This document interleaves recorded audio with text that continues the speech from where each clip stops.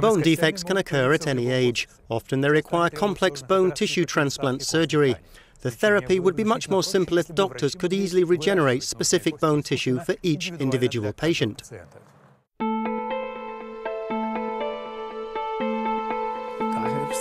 Professor Michael Rasse heads the clinic of maxillofacial surgery, where they reconstruct facial bones damaged by serious accidents or cancer. This patient has had surgery to treat three tumours over the past 10 years. His jaw had to be reconstructed from pieces of healthy bones taken from various parts of his body. So, Professor, for these kind of surgeries, you need to use uh, the patient's own bones, uh, which cannot be ideal.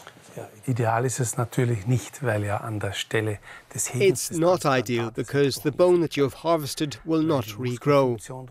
You have loss of muscle function, loss of sensitivity, you have scars. And the surgery takes quite a long time. Synthetic implants or tissue from other donors can be rejected by the patient's body. A European research project is working on a treatment that aims at overcoming these drawbacks.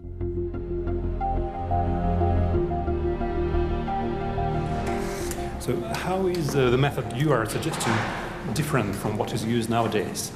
The big advantage of our method is that we're using the body's own cells, so there is no immune reaction against foreign products, and it's accepted by the body perfectly.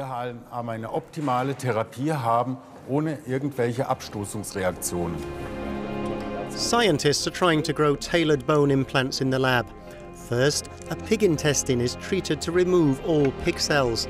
The blood vessels are accurately preserved. Then the clean collagen structure is filled with bone replacement materials and the patient's stem cells.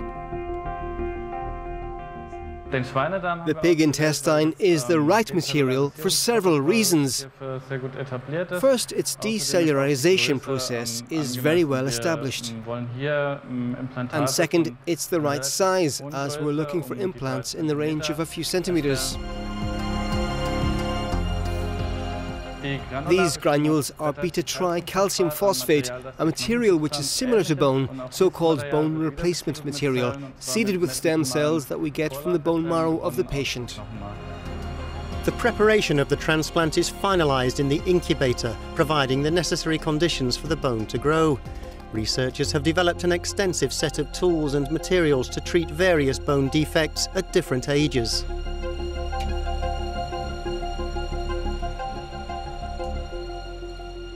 We conducted preclinical trials and are hoping to successfully start the clinical trials by the end of the year. If it works out, in the future, this will be the way towards clinical use.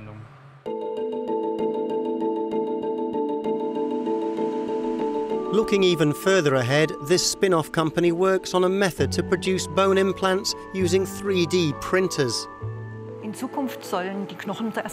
In the future, surgeons will use 3D printers at their clinics to produce implants immediately after the patient arrives and gets an MRI scan.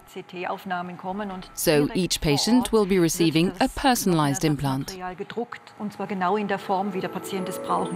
Researchers are working on combining ceramics and polymers with diamond nanoparticles to print biocompatible bone substitutes of any required size and shape.